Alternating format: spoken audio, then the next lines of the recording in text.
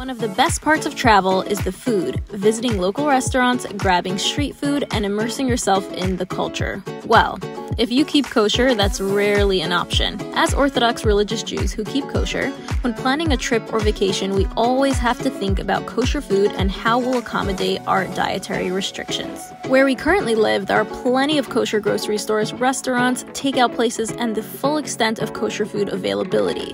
When going on vacation to places like Miami, Florida, or even Cancun, Mexico, there are kosher groceries and restaurants available there.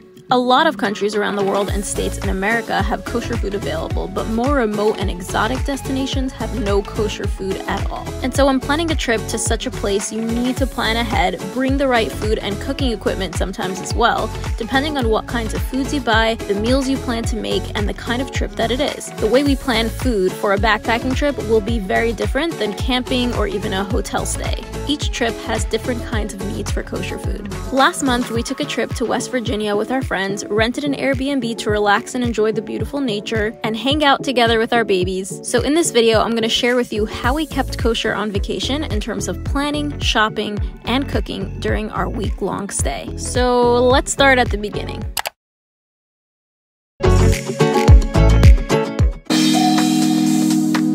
Okay, we just parked at Evergreen Kosher Market to go get some uh, meat for our trip. I have a loose list on my phone of what we need, but I'm pretty much gonna be figuring it out as I'm looking at what's available. So let's go see what there is.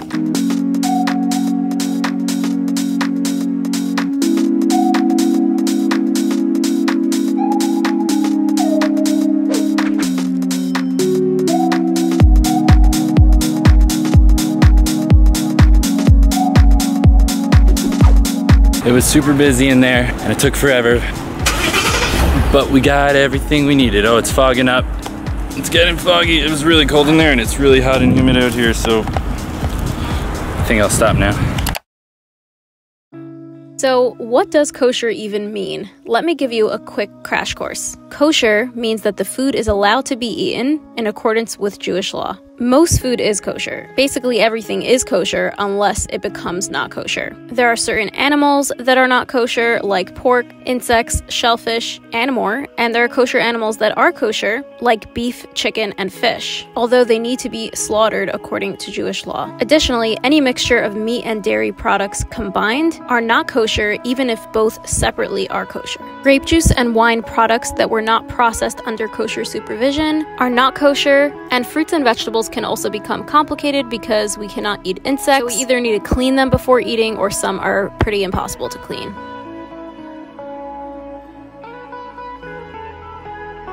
Say hi! You're just the best girl!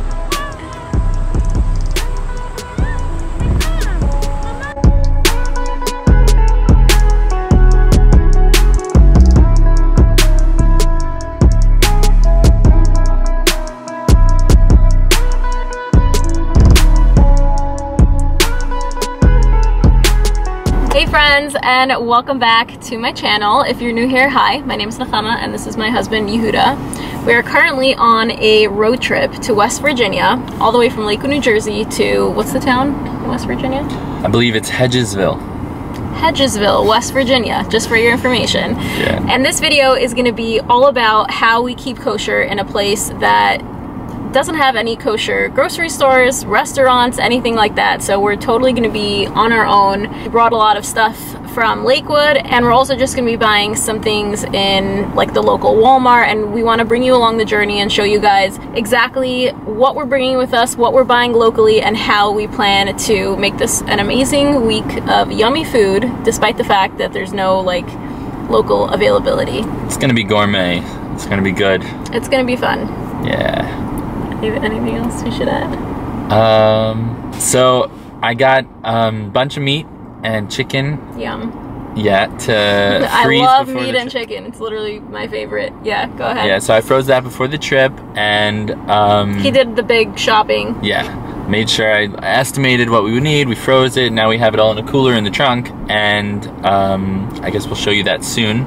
What we got. Yeah, as we like bring the stuff into our Airbnb, like we could show you guys what we actually bought beforehand and packed in the cooler, and then as we go shopping, we'll also bring you along you know and then towards the end i guess we'll just give like a wrap up of exactly like what happened throughout the week with food what we ended up doing um, just so that you guys know if you're planning on taking a trip and you keep kosher um, hopefully this could help you out. Right. If you don't already know but maybe there'll be something you didn't think of before. And if you haven't done something like this before you don't necessarily keep kosher and you want to see what it's like we'll show you. Stay tuned and we will take you along with us She's got her food, and we're going to get ours. How do you know if something is kosher? So either it's inherently kosher and not contaminated by something non kosher, or if it's packaged processed foods, there are organizations that oversee and certify food companies to ensure their products are supervised and done properly according to kosher standards. Each organization has their own symbol that represents the product as kosher. It's printed on the product label for the consumer to see. The reason these organizations exist for packaged kosher food is because even products that are kosher can become not kosher during production. Therefore, all processed food needs a certification to be considered kosher and trusted by the consumer. It's unlikely or impossible to find kosher meat and cheese anywhere other than a very populated religious town or city. So we brought that from home. However, you can get other kinds of kosher food at places like Target, Walmart, Trader Joe's, etc., although they aren't necessarily stocked with a variety of kosher food in locations that don't have a Jewish population. So it's kind of a catch 22. There are always basics you can find at Walmart like pasta, rice, canned goods, and of course fruits and veggies, bread, etc., that will be available at any Walmart or Target location. So here we are doing our big shopping.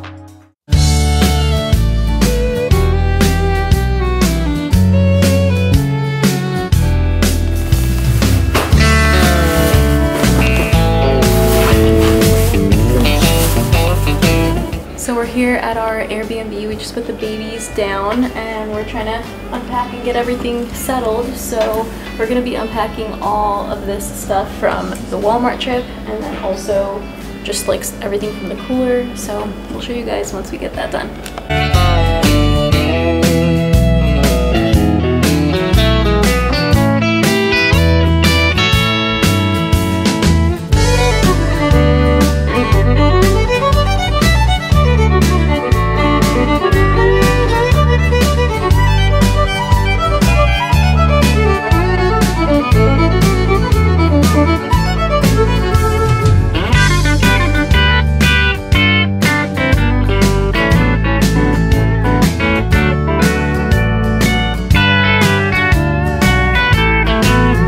Now that we have all of the Walmart stuff put away, it's time to do the cooler. Here we have all of our uh, stuff from the kosher groceries in Lakewood, New Jersey.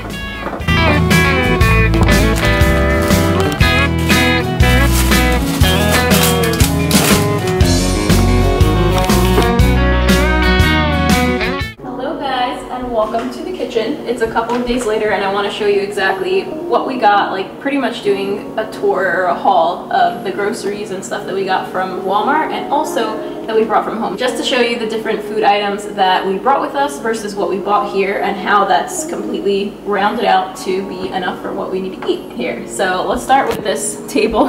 This is the snack unhealthy situation. We have Oreos, brownies, glazed donut holes, Entenmann's, chocolate donuts, Bananas. uh, bananas. So have some. Krispy Kreme donuts on the table over there, but yeah. We also have this Betty Crocker pizza maker, which is a very, very integral key thing that we have in order to make all different kinds of things in here, not just pizza, which we didn't make pizza yet, but we're gonna use it for really everything.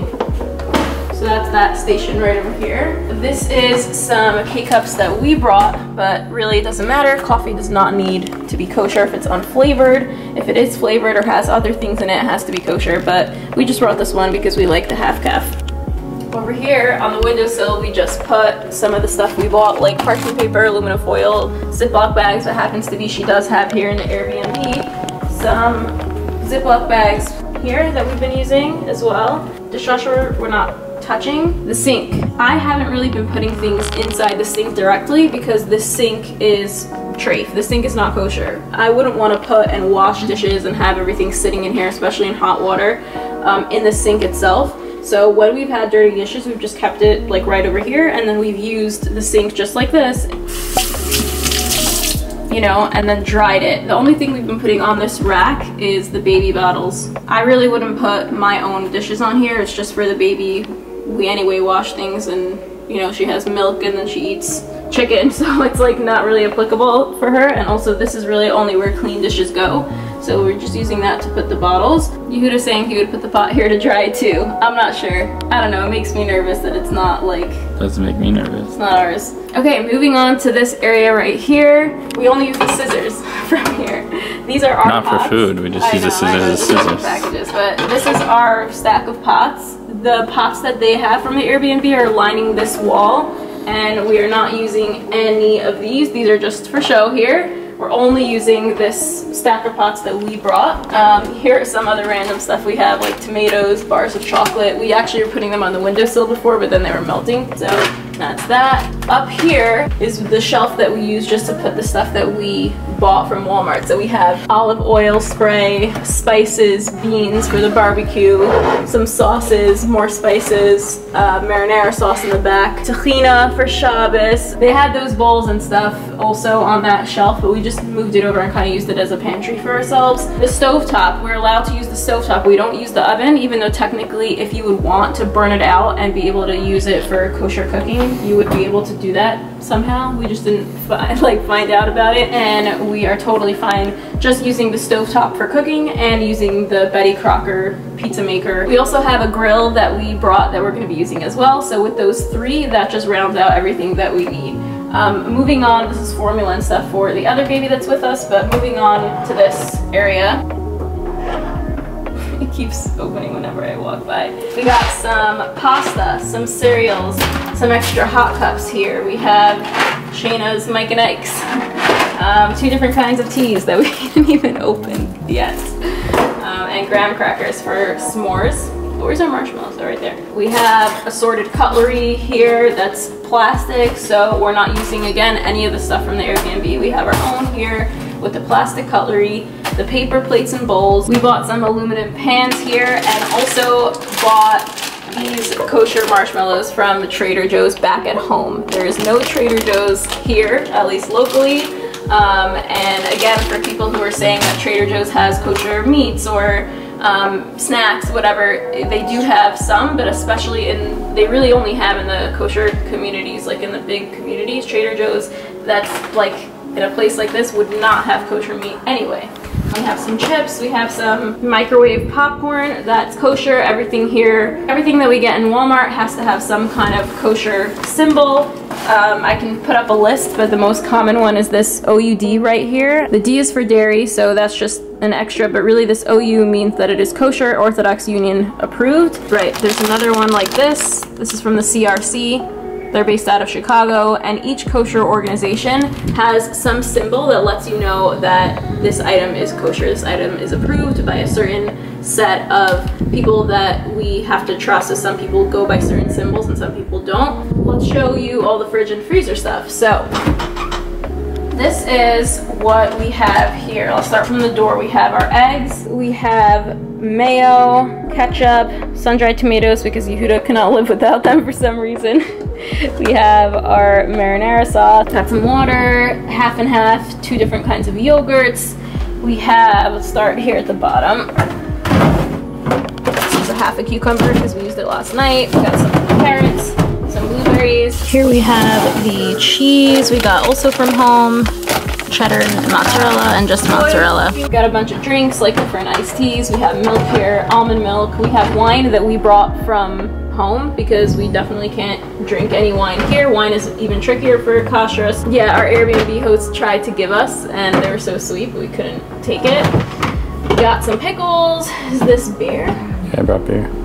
Another wine. We have some grape juice here in the back for Shabbos Kiddush and we brought that from home. We got some greens and I've been checking them so what we do is that if they're freshly washed and quote unquote ready to eat, I just check them in the light and look on both sides to see if it has any bugs or anything that I can spot. But if it doesn't, then you can eat it. This is leftover spaghetti from last night. We have our ginger ale, Coke. This is spelt muffin I still didn't eat that my mother made. Uh, this is hummus, some cookie dough that we want to actually bake. We're gonna bake them in the Betty Crocker. It's gonna be really fun, and also we can eat it plain, as I do. That all these came are in not the- ours, Yeah, right? that's just everything that came. Okay, so they put some creamers out. I don't think these are even kosher. I think they are. Actually, these are. Yeah. Oh, you do you know? Sometimes, like, the, is it not this brand? Mostly they are. It's this it's possible not Coffee to. mate. Every time I go to a hotel, they're never kosher. But this one is. Yeah, I think they are usually. No, I remember having issues with creamer, and Okay. they weren't kosher. I hear you. Um, so that's everything in the fridge, and let's move on to the freezer. Um, we actually had some chick patties that we ate the other day, and these are chicken wings and chicken nuggets. Um, maybe I will take over from here, and you show them everything in the freezer since you're the one who bought everything. Because your hands are too cold. Yehuda's the one that bought everything, so I think it makes sense for him to show you exactly what we got. And these are all stuff that we bought in Lakewood in the kosher grocery and packed it up here in this cooler. London broil, Nice. Take out for the barbecue tonight anyway. Let's hear. Swiss steaks. More Swiss steaks. Chicken, I bought a giant thing, so I split it into two packs so we can defrost them at different times. One for Nice. Shabbos, one for maybe one night. At this rate, we're gonna have extra. Nice thing of ground beef. One more ground beef. Pargiot, which is baby chicken. Small things baby back ribs. You're fancy. Ribs? Are When you in West? Virginia. Another thing of the chicken that I said. And that's all for the meat. So I'm gonna just put this back in. Okay, well maybe take out what we need for Um, tonight for the barbecue anyway. But I just want to show first what's in the freezer. We got challah, because you can get bread in the stores here, but usually they sell everything sliced and challah needs to be whole and not cut yet. um, Right. Until we cut it. For Shabbos. So, So, we brought a couple challahs in here and then some rolls. And then it's hard to find green bean. It has to be grown in a greenhouse, so you don't have to worry about checking it, which is really hard um, for bugs. So I just brought a thing from home we had in our freezer, so we can have some. yeah, so any like frozen veggies and things like that that would be specific to um, making sure that there's no bugs in it, we would really need it to be from home. So we brought that with us. And we got We got an ice cream. butter pecan ice cream. Awesome. So What that's really all the freezer stuff. We're gonna have a barbecue tonight. What do we? And I would say burgers, some chicken. Burgers and chicken. Do we not have enough? I don't know. I have to think about what we're having every night. Alright. but we gotta do that so we can defrost it for cooking later. So that is the kitchen tour, all the food and everything. And when we grill, we'll show you guys that we have like this mini grill with propane and we just grill it up. We'll probably put it on the porch outside and eat on the balcony right there. So, yep.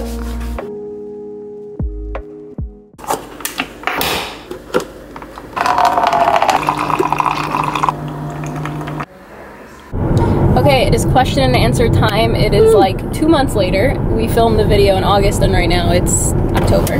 So, anyway, we're gonna do them rapid fire, just a bunch of quick questions. Some of them are repetitive, so I'm just consolidating them into a few like core questions that hopefully will be helpful to you. I'm gonna start with the most general question, and that is what is your criteria for using a kitchen that you know isn't koshered? And pretty much a similar question also was like, how do you use a non kosher kitchen? So, I'm gonna have my husband start because I feel like he's better at this stuff. Got it. What's the question?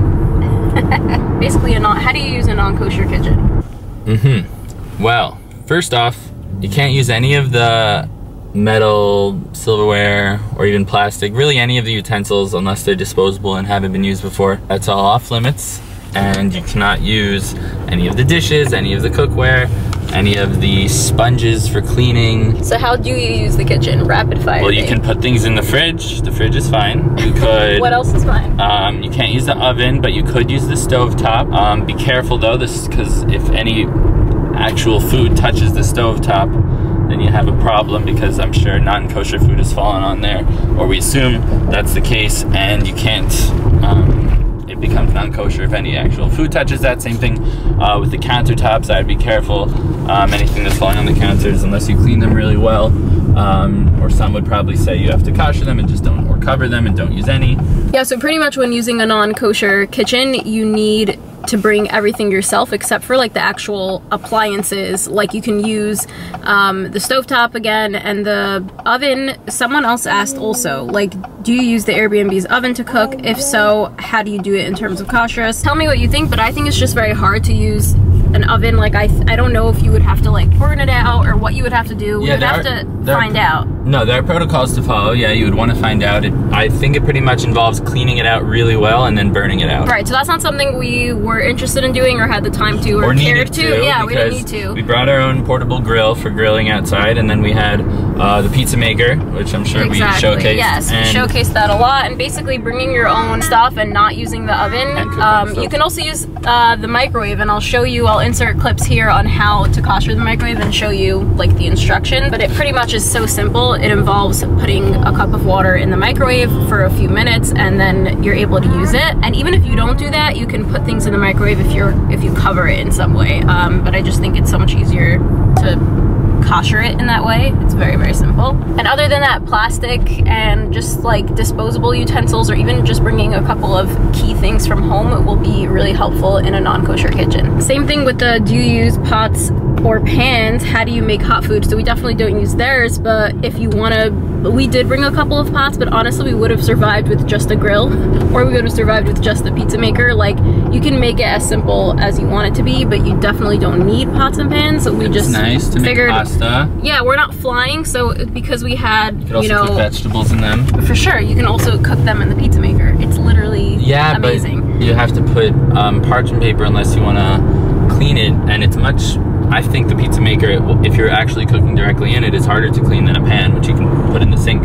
yeah, but parchment paper is so easy. You just Yeah, but it doesn't and cook the same. You don't get the. You don't have the same. Yeah, it's not the same as frying something in a pan. Like it's right? not gonna taste the same. And I but care about that. so I guess it depends on what you care about. we did show a bunch of ways to make hot food, so hopefully that answers that question. It's more just like a comment. Like I feel like it's probably more difficult on a dairy-free diet, and I would say yes, but the same as in life. Like I don't think it's more difficult on on keeping kosher on vacation because we didn't eat cheese all day. We didn't eat like there's so many things to make that are not dairy. Like we had a lot of things. Yeah, we had we had we had more options to eat than we had nights and or days to Exactly. We had way more food than needed basically, and there's so many awesome options. And like I was saying, like when we were in Walmart and we were picking up things for the house, it's like just be adventurous with what you eat. Like I know I'm very into health, but at the same time, like on vacation, like it's okay, you know, 80-20 kind of principle. It's okay to like explore, try new foods, like eat some fun things you don't usually eat. There's so many options even that are dairy free again and like just make sure they have a kosher symbol and all that.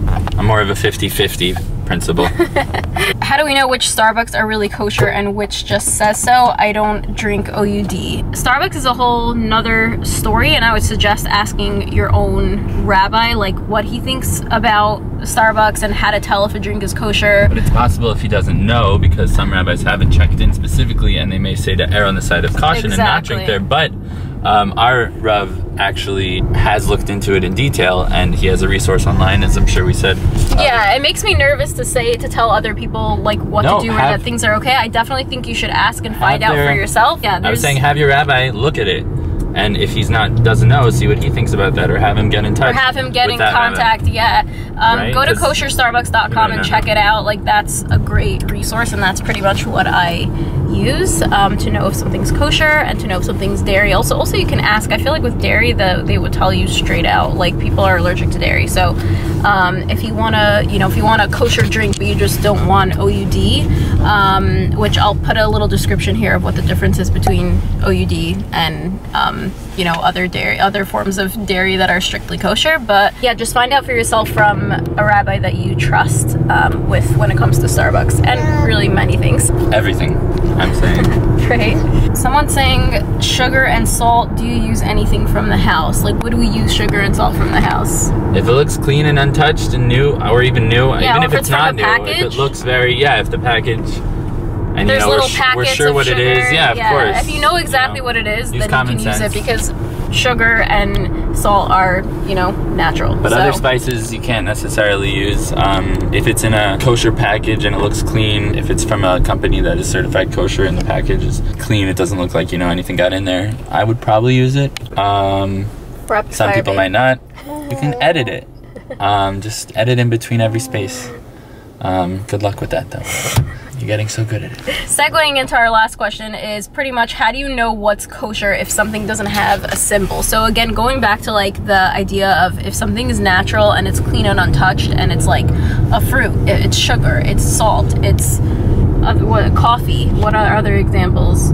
That's not not kosher. It's kosher. Right, going back to our, the original description pretty much in the beginning of the video, I find also that the rabbi of the local area, if there is, if there's any kind of Jewish community or any kind of even community in the vicinity, like finding out from them or from a Chabad nearby, like what's kosher, because I know that when I went to Greece, I found out like what's kosher even without a symbol, like in certain shops, like which brands, and so there's definitely more information that you can use to buy things in stores that don't necessarily have a kosher symbol, but Also, when I was in Iceland, there was really not much stuff there other than like Arizona and Ben and Jerry's, which I guess are imported and have um, a hechsher, kosher symbol. But like something like salmon um, with the skin on was like one of the only like fresh fish things we could get. Although it was a little more complicated than that, but that's just because it's like an unmistakable um, fish. It's the only one that looks like that. That goes back into the all the fine details of what makes something kosher or not kosher, and you have to learn that um, pretty well to be able to make decisions without asking. Yeah, or or you can just ask, and I think that like there's so many options more than what you would think that have kosher symbols that, that are easy and accessible to find. But again, when you go to like a really far out place, especially in a different country, um, there's definitely value in really asking and like finding out from the local rabbis, the local, you know, Jewish people, if there's anyone even remotely in the area at all, like even in the same country, you know, just to give you an idea of what brands, what kind of items would be kosher even without a symbol. Playing with the baby. And with that, we're gonna wrap up this Q&A. Okay. I hope we satisfied your curiosity. If you have any more questions, you could always reach out to Nechama.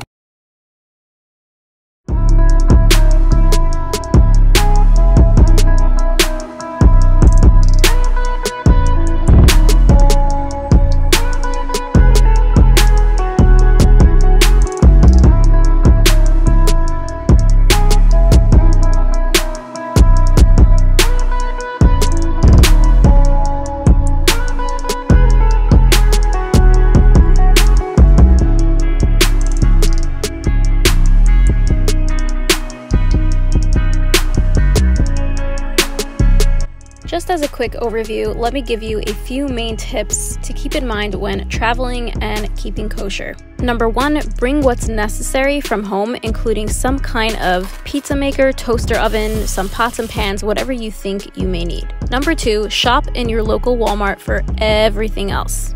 Number three, have a rabbi available to text or call if something comes up. You'll definitely come across some questions that you'll want to have someone knowledgeable on hand to reach out to. Number four, grill, grill, grill.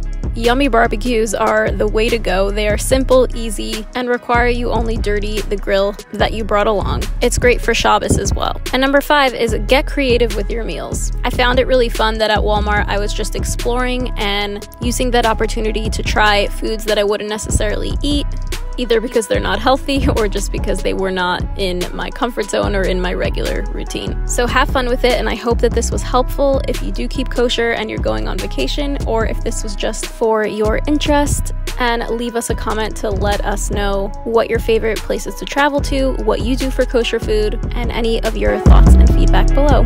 I love you all.